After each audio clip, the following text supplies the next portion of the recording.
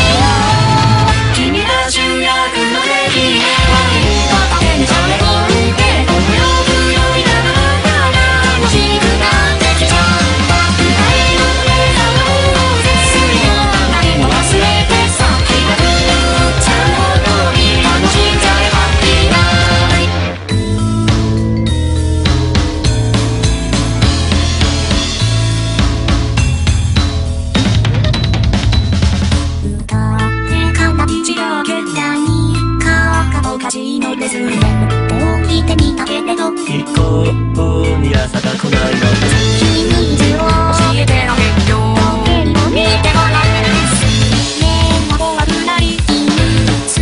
部屋に逃げ込むことないドミノを開けたらそこを。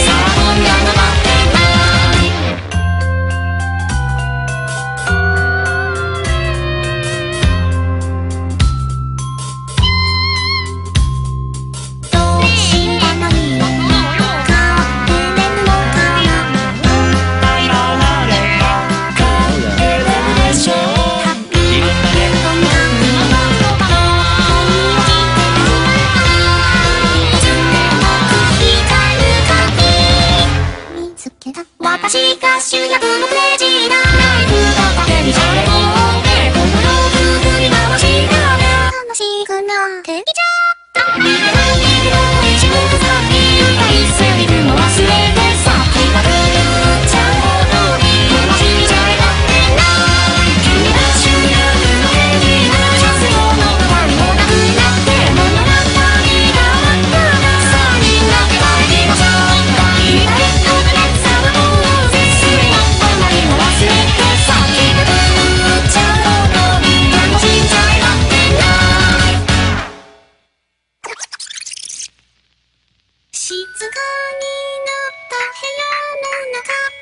臭をする謎の影輝えはラでした。